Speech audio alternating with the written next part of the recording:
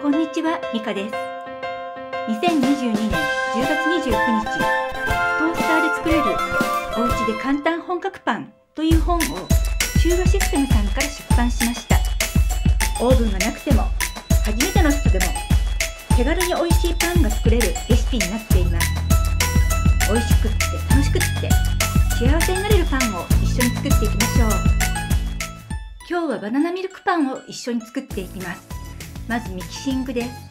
ボウルにお粉、イースト、お塩、お砂糖を入れて軽く混ぜ合わせましたらお水と卵を加えていきます。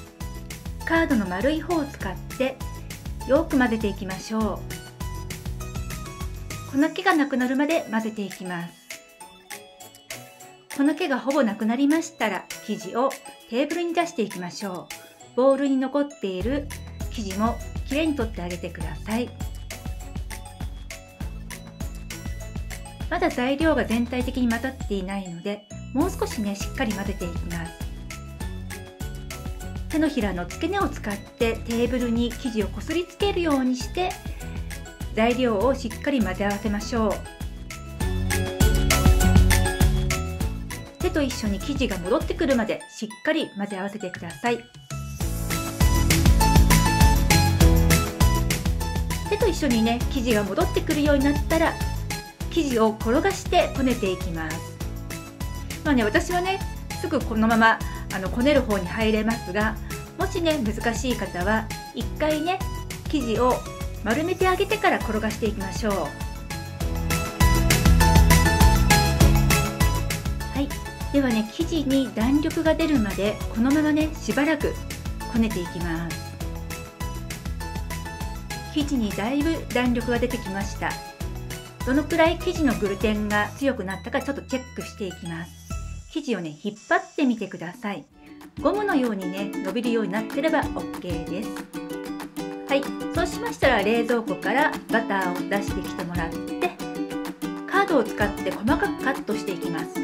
生地を広げてその上に乗せてあげましたら茶巾状に包んであげます。で最初にやったね生地をテーブルにこすりつけるような形でバターを混ぜ込んでいきましょう。生地はね遠くまで伸ばしてあげないとバター入りにくいですのでねしっかりね今度は生地を握ってあげてバターを混ぜ込んでいきます。はい。しっかり混ざれば OK です。打ち粉をテーブルに広げてあげましたらその上に生地をのせてあげて生地を丸めていきます。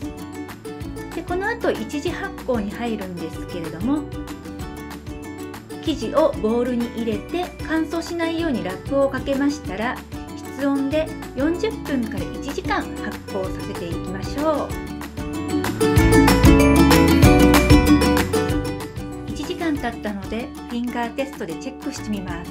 穴の大きさが変わらないのでこれで発酵完了にします。カードを使って打ち粉をしたテーブルに生地を出していきます。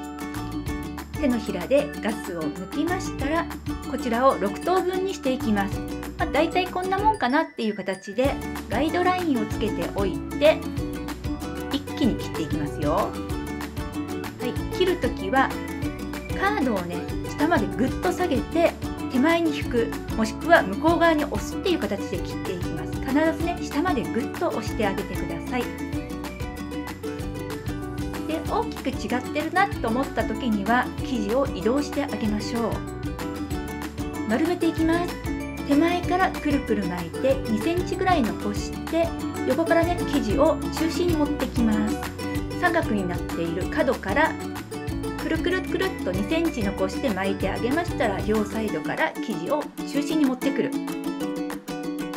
6個同様にやっていきます。6個終わりましたら2センチぐらいの間隔を空けて上にふんわりラップをかけて10分生地を休ませておきます。これをベンチタイムと言います。ベンチタイムの間にフィリングを用意しておきます。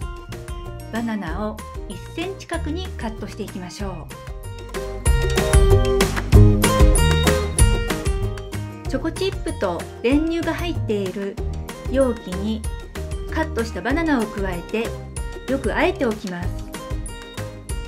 10分経ちましたので成形をしていきます。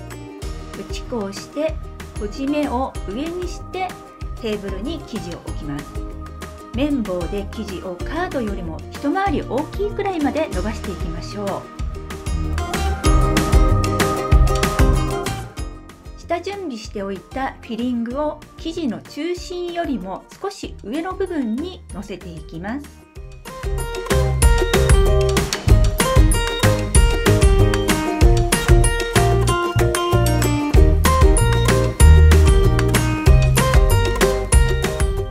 せましたら手前の方から生地を剥がしてあげて2つ折りにします。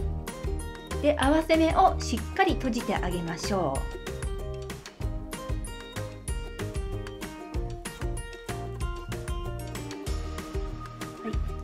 したらね。どっちか片方に閉じたところを少しね折ってあげてください。ちょっとね餃子みたいですよね。これをしてあげると中からね溢れることがねここね避けられますのでねしてあげるようにしてくださいね。アルミホイルをね敷いた天板に乗せていきます。はいもう一個やってみます。